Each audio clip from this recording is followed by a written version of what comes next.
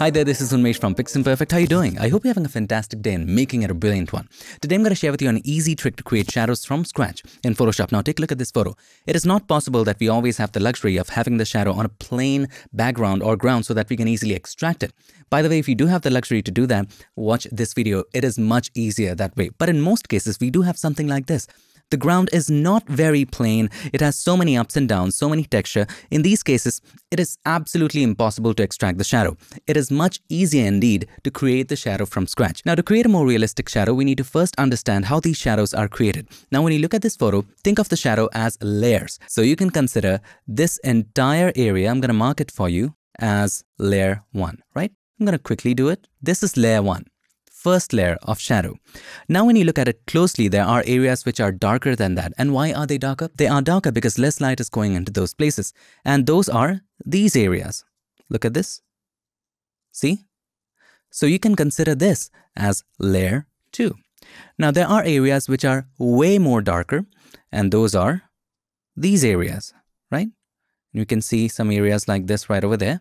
And this is layer 3. And the layer 4 right here, Look at it closely, just under it, as a very thin line where no light is going through, that, my friend, is layer 4. I cannot even mark it, but you get the point. This, my friend, is layer 4. If you think of shadows this way, it is very easy to fill it, brush it. Trust me, it is way easier than you think. And we're gonna do it together. Don't worry. So without any further ado, let's get started.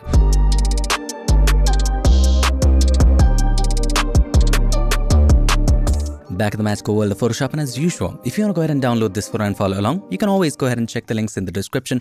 Now, this is important for, let's say you're a product photographer and if you want it on a solid background, or if there's any item that you want to create a shadow of, this is a crucial lesson. So let's go ahead and get started. The very first thing we need to do is to make the selection of the product right here.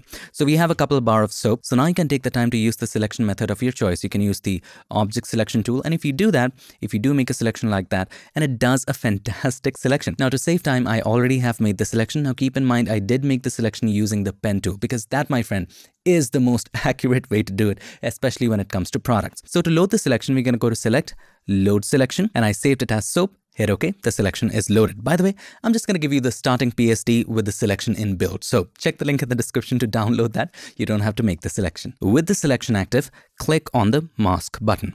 Now it's separated. Now let's name this soap.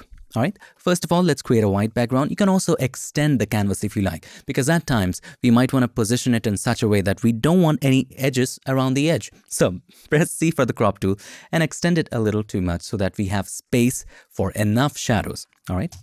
This will give us a lot of flexibility. Now let's create a white background by clicking on the adjustment layer icon and then choose solid color and choose white and place it under the soap. Let's start with creating the shadows. Now to create the shadows, we can take the assistance of the existing shadow as guidelines. By the way, I turned off the mask by holding the shift key and clicked on the mask button.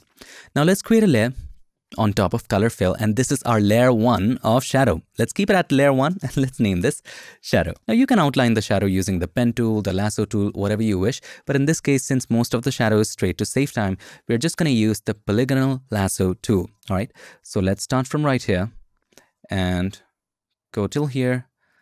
I'm just extending shadow way too much. It won't be that much, but just to be on the safer side, right?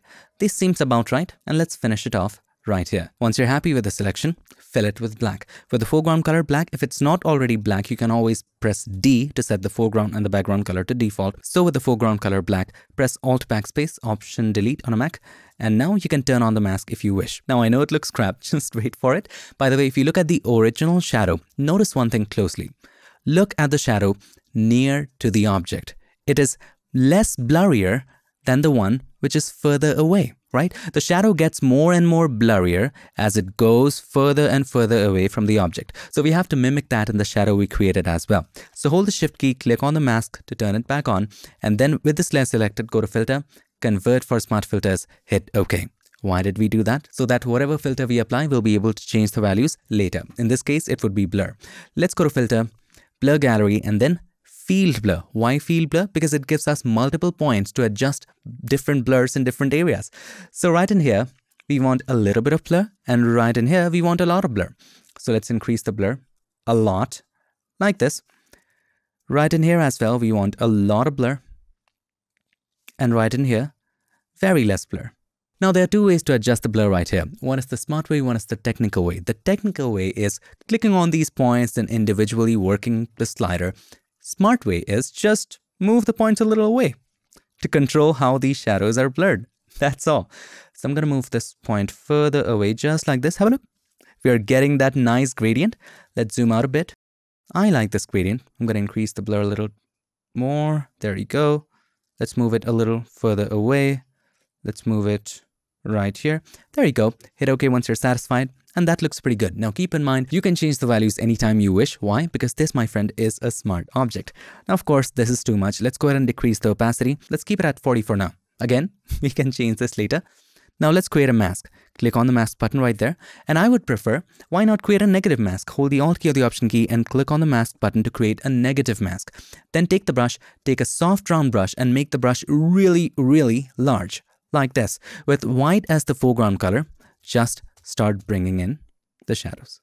See that? So this, my friend, was our first layer of shadow. Now, if it doesn't look right, don't worry, we can always adjust it later.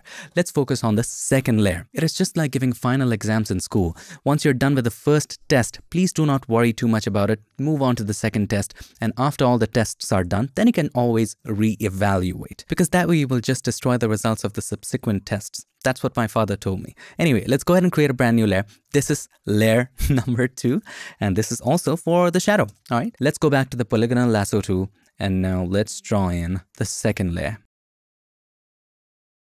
By the way, if you accidentally made a point, press backspace. That point will go away. Have a look. See? Those points are going away. So that's a good tip right there. Let's add a little too much here as well. That's something we are doing on purpose. Okay, fill it as well with black. Alt backspace, Option delete, press Controller Command D. Similarly, let's go to Filter, Convert for Smart Filters, hit OK, and then Filter, Blur Gallery, field blur. Now in this case, you can also choose to do the same thing.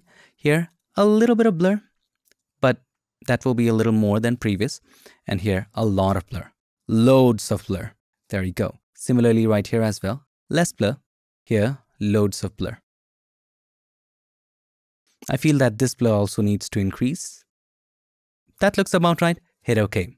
Now on top of that, you can also add a little more Gaussian blur to soften everything up a little bit. Let's go to Filter, blur, and then Gaussian blur. 100 is fine, hit OK. There you go. Now let's go ahead and decrease the opacity, slowly and gradually increase it. This one is also good at 36. I think this area would need a little more blur, so we can add a blur on top of that, no issues. Go to filter, blur gallery, and tilt shift this time. And let's have the blur start from right here from the solid line and end at the dotted line right over here. Let's rotate it a little bit, just like this. And then let's go ahead and increase the blur. All right, that seems about right. Hit OK. Now let's worry about layer number three. So let's collapse it. It's becoming too busy. Let's create a new layer. And this, my friend, is layer three for the shadow. With the help of the polygonal lasso tool, let's do the honors. Let's fill it. Control or Command D. And now let's do the honors of blurring it by going to filter. Don't forget convert for smart filters. Hit OK. And then go to filter, blur. You can apply Gaussian blur right now. It doesn't really matter much. Blur and then Gaussian blur. I think about 140 is nice. Now, of course, decrease the opacity, slowly and gradually increase it. I would go back to Gaussian blur and increase it further, 180. And let's decrease the opacity slightly to about 60. Now let's do the final layer, that is layer number 4. Layer 4 for the win. Polygonal lasso tool selected, and then let's start from right here. And we can actually make an outline here. Since it will be very close, an outline is enough. Let's fill it. Alt backspace, Option delete. You can barely see it, but we have to blur it a little by going to Filter, Convert for Smart Filters, hit OK, and then Filter, Gaussian Blur. Very slight blur, not that much. Now let's blur slowly and gradually. Something about 19.4 feels great. Hit OK. Decrease the opacity, of course. And slowly and gradually increase it to a point where it looks okay. And now you can work on the opacity of the rest of the shadows.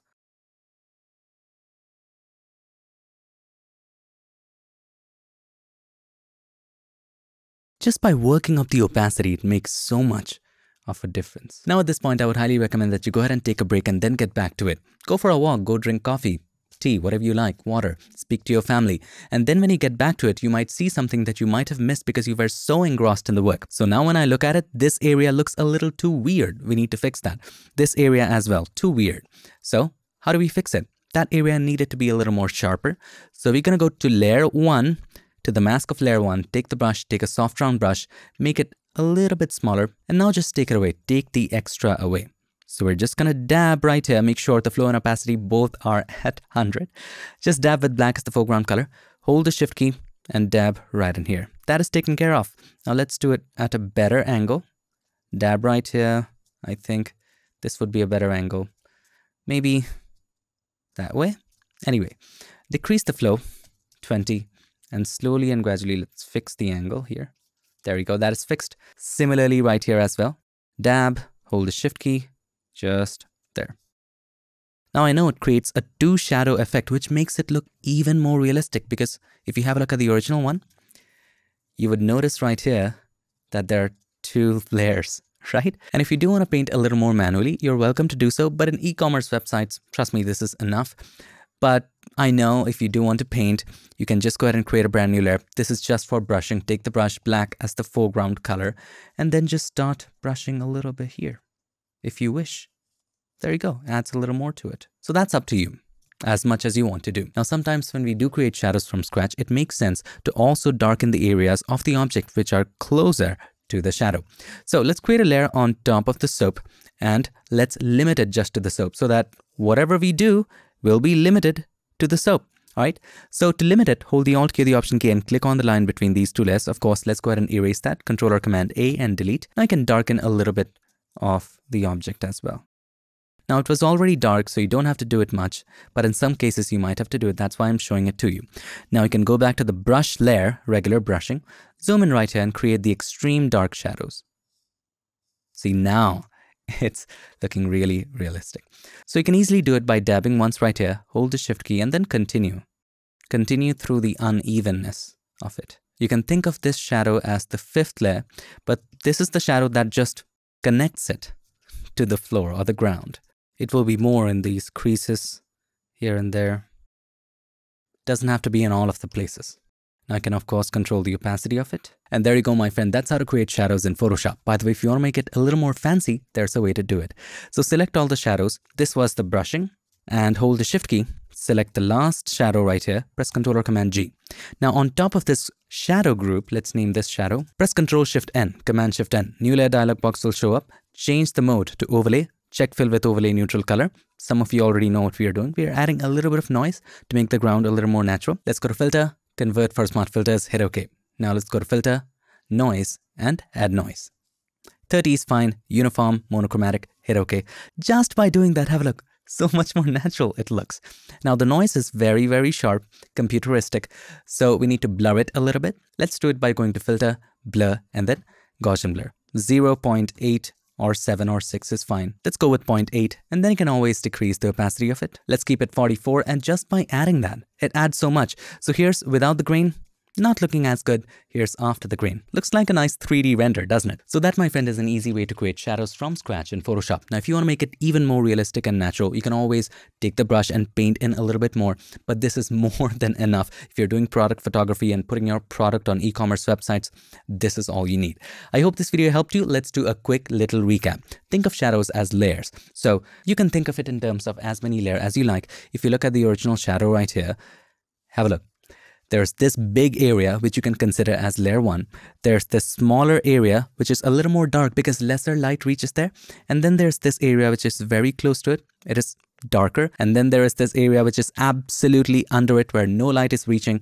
It's the absolute darkest place. So consider those layers and create shadows in those layers and you would be fine. You know what? Now when I look at it, I think that the darkening on top of the object was not a good idea in this case. So let's turn it off and see how that helps.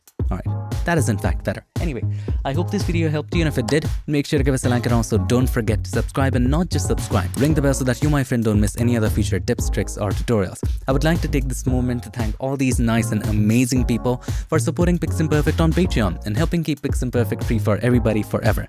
Thank you so much for watching. I'll see you in my next fun. Till then, stay tuned and make sure that you keep creating. What can I do?